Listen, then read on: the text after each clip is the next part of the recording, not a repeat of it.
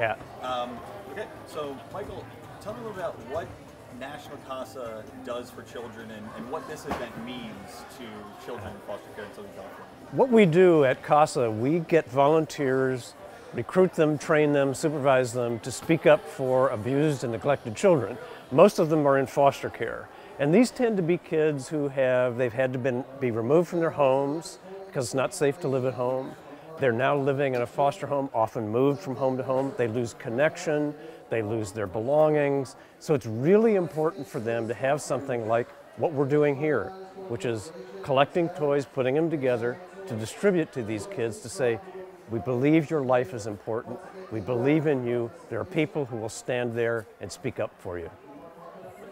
Um, tell me, tell me real quick, because we're going to jet back there. Um, you know, the importance of, of the Toy Industry Foundation and, and the collaboration that you guys have uh, have committed to with this first player Part event.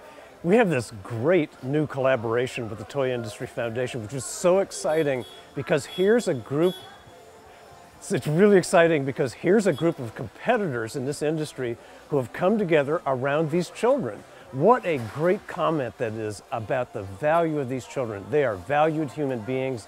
The Toy Industry Foundation has volunteers here who are putting these toys together and they have really come through for us and for these kids. Okay, great. I love that.